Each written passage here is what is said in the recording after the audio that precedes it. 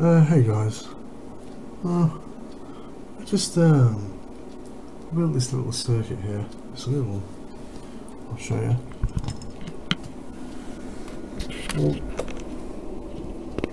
There we go. Look, we've got a little 555 timer. Um, turn that. So it goes down.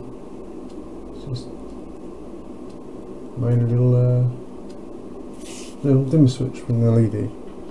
Well, the part I'm curious about is,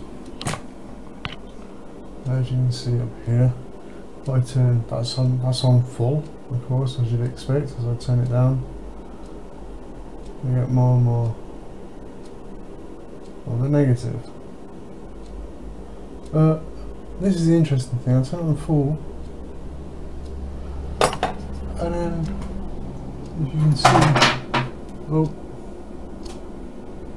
if you can see that, it says 9 millivolts. Now remember that's on full, so the LED is on full. If I start turning it down,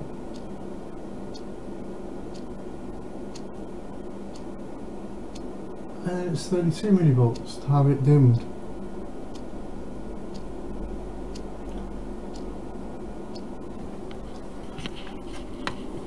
I'm not sure if uh, I'm not sure exactly why that happens. Um, I was just wondering. Um, but such a simple little circuit. I just when I got off the internet. I can show you it. Uh, just bear with me a second. Let me get the. Here's the um, here's the circuit.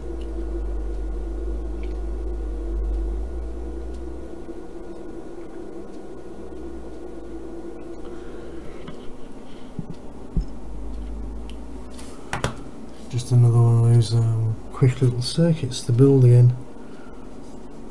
And I got some of these in the post today which is making my life especially if I don't just tip them out everywhere it's making my life a lot easier.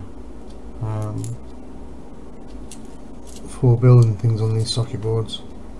So hopefully I'm going to be doing a whole bunch of little circuits like this. It does have a practical value I suppose because it's uh, it's an LED dimmer. I suppose I could put some uh, some different colour LEDs in or or I'm going to figure out why because it's higher resistance it draws more current. I'm not sure. Anyway so that's pulse width modulation LED dimmer